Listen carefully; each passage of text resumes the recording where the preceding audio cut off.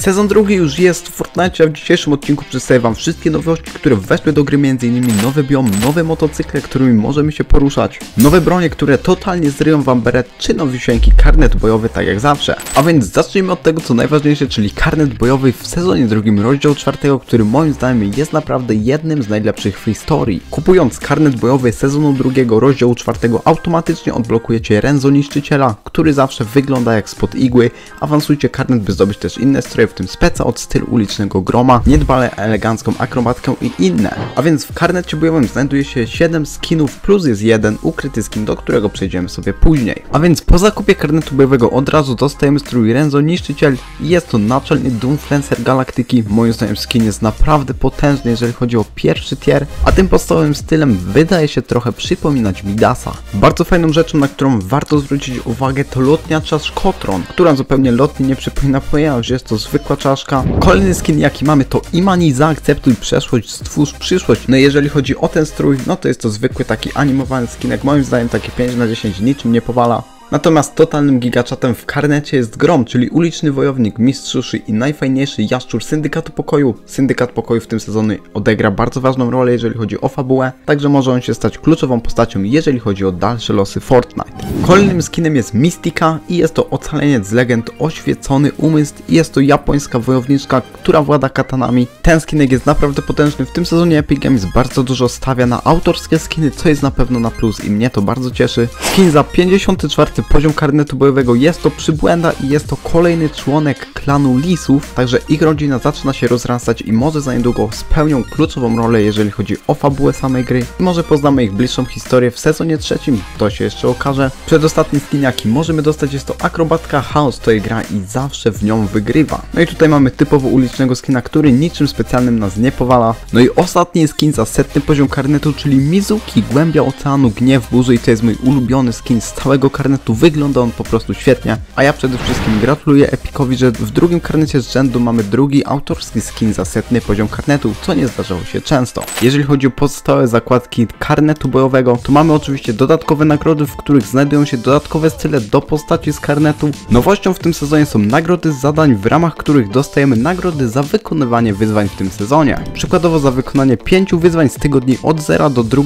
tego sezonu dostajemy styl niszczyciel niszczyciela do naszego Za ukończenie 8 zadań z tygodni od 0 do 2 tego sezonu dostajemy lotnię Czaszkotron, o której wspominałem wam wcześniej. Jeżeli chodzi o sekretny skin tego sezonu, to jest nim Eren Jaeger.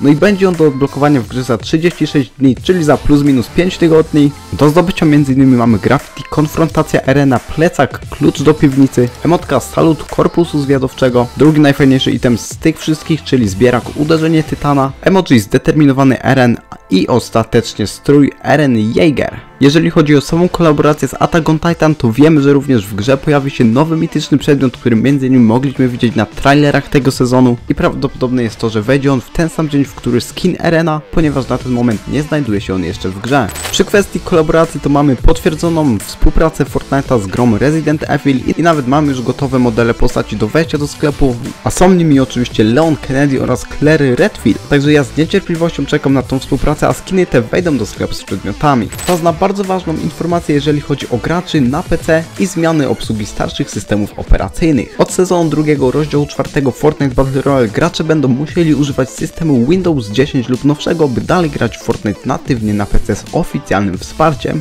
a systemy Windows 7 i 8 oficjalnie przestały być obsługiwane w Fortnite. Jeżeli natomiast nie jesteście w stanie zmodernizować swojej konfiguracji sprzętowej, to waszą dostępną alternatywą jest Nvidia GeForce Now umożliwiająca granie w Fortnite na aktualnych komputerach PC z Windows Windowsem 7 lub Windowsem 8. Nadszedł czas na zmianę na mapie, a ich tutaj całkiem sporo, ponieważ pojawił się nowy, zupełnie nowy biom, których do tej pory nie było. Na tym biomie możemy znaleźć cztery miejscówki, takie jak Mega City, zaparowane źródła, rozstraje, Kenjutsu i nie tylko. A więc przejdźmy sobie w tym momencie do największej miejscówki, która znalazła się w tym sezonie, czyli Mega City. Jest to miejscówka, która ma największe budynki w historii całego Fortnite'a. Również cała miejscówka jest w stylu japońskim, mamy tutaj m.in. figurkę, a bardziej posąg skina, który był niedawno w Quest Smaku. Na samej miejscówce możemy znaleźć również nowe rodzaje drzew, czyli takie różowe drzewka właśnie w stylu japońskim, nową budkę z lodami, czy wiele, ale to naprawdę wiele różnych rzeczy. Także jeżeli chcecie, żebym nagrał odcinek z sekretów nowej mapy, no to oczywiście dajcie znać w komentarzu. Jeżeli już jesteśmy na miejscówce Mega City, to pojawiły się też na niej nowe szyny. Na tych szynach możemy jeździć i transportują one nas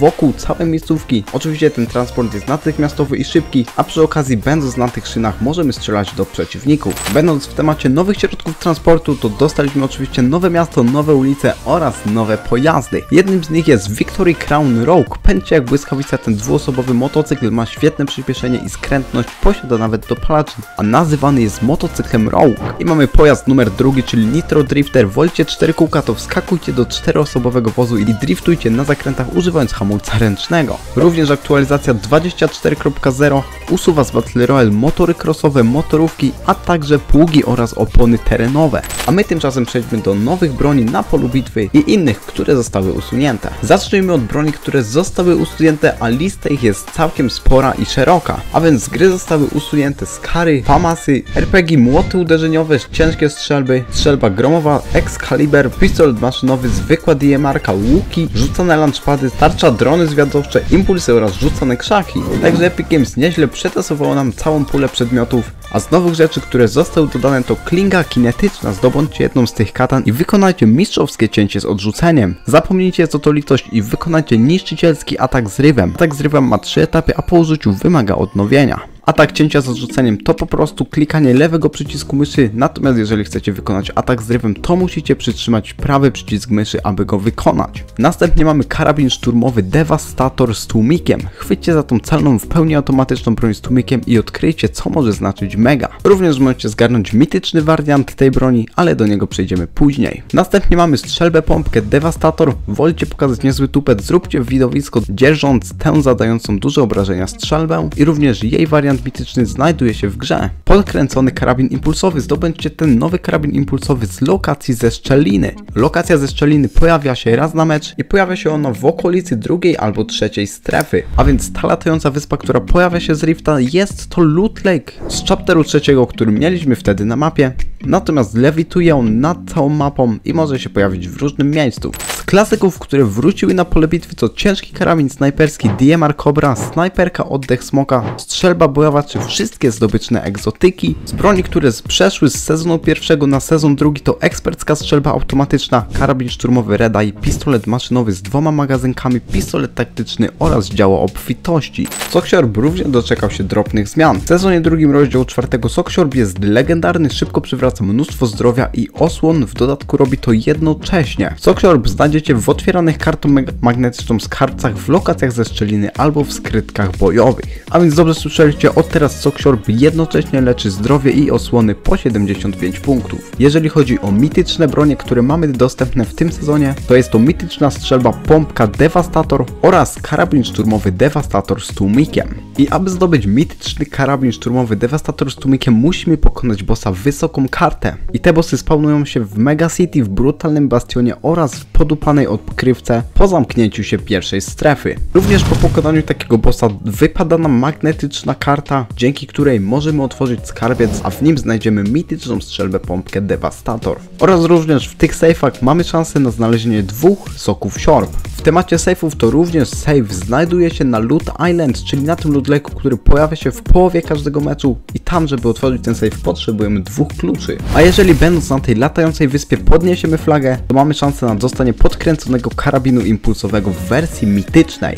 Rozszerzenia rzeczywistości również zostały z nami w sezonie drugim rozdziału czwartego, a oto nowe z nich, które pojawiły się w aktualizacji 24.0. Śmietnikowy nurek po opuszczeniu kryjówki w okolicy pojawiają się łupy, działa tylko raz na każdą kryjówkę. Łowca skarbów po pierwszym wejściu do miejsca na mapie pobliskie skrzynie zostają zaznaczone, czyli jeżeli takiego perka mamy, po wejściu do danej miejscówki na mapie wszystkie pobliskie skrzynie zostają nam podświetlone. Nadwyżka klepu znajdujecie klepsok w każdej otwartej skrzyni. Jeżeli w skrzyni był już klepsok, to pojawia się dodatkowy. Poślizg amunicji zbieracie średnie naboje ślizgając się i to może być realnie bardzo dobry perk, jeżeli chodzi o scenę competitive, wzmacniacz średniej amunicji, bronie używające średnich nabojów mają większe magazynki, recykling strzelb, bronie używające nabojów do strzelb mogą nie zużywać amunicji oraz klasyczna końcówka likwidacja odświeżają czas odnowienia dla ataku zrywem klingi kinetycznej, a więc jeżeli posiadacie w ekwipunku klingę kinetyczną i zlikwidujecie przeciwnika, to automatycznie odświeży wam się czas do użycia dash ataku. Wraz z nowym sezonem pojawiły się również nowe zadania, a tym razem są one w zupełnie nowej zakładce, nie są już z boku ekranu pod naszym poziomem, a między zakładką karnet bojowy i rywalizuj, questy syndykatu, czyli questy fabularne w tym sezonie. I to właśnie na nich w tym momencie się skupimy, a to najważniejsze kwestie, które powinniście wiedzieć, jeżeli chodzi o fabułę.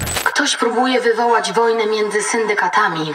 Wie, że podzielone miasto się rozpadnie, a w chaosie on przejmie kontrolę. Obecnie jego metodą jest sabotaż. Namieszać jednemu syndykatowi i oskarżyć o to inny. Sabotażysta dobrał się ostatnio do sieci danych syndykatu pokoju. O, uszkodził wszystkie akta armii ostatniej rzeczywistości. Sieć jest znów online.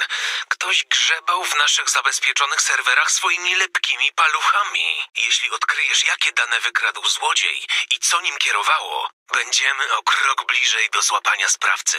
Jeśli nasz sabotażysta pracuje z nimi, czeka nas coś więcej niż wojna między syndykatami.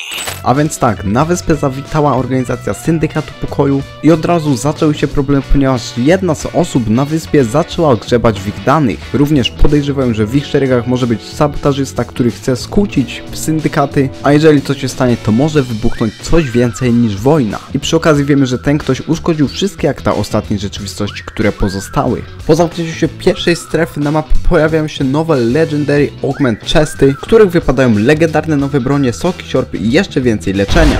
Oto wygląd starter packu na sezon drugi rozdział czwartego Fortnite, który ma nazwę Cross Coms Pack. W zestawie znajdziemy skina, plecak, kilo 600 V-Bucksów za jedyne 14 zł, a tak oto prezentuje się tego sezonowa parasolka, którą możecie zdobyć za zwycięstwo w tym sezonie.